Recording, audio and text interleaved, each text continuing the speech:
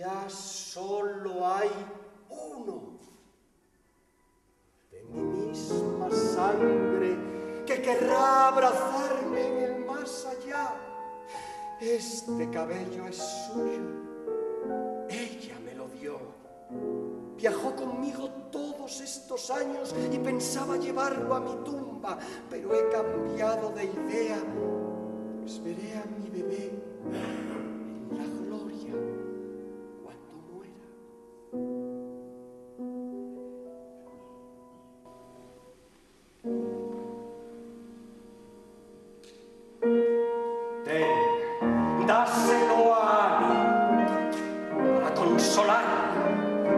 Esto será para ella la prueba de que soy él.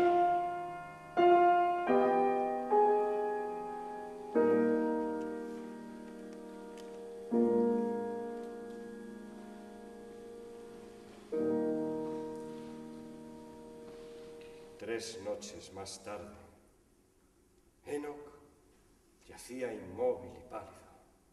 Miriam velaba durmiendo a intervalos cuando del mar surgió un terrible estruendo que resonó en cada casa del pueblo. Él se incorporó y abriendo los brazos gritó con potente voz, ¡Una vela! ¡Estoy salvado!